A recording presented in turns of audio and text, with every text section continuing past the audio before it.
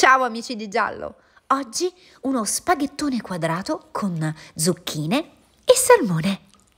Taglio le zucchine romanesche a dadini più o meno regolari. Stessa cosa con il salmone, che condisco con olio e pepe.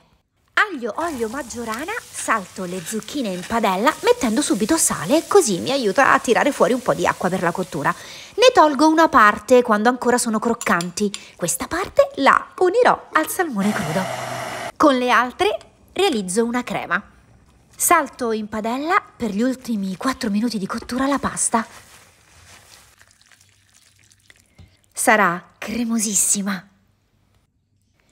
Impiatto ed unisco i dadini di salmone crudo. Il salmone è stato precedentemente abbattuto.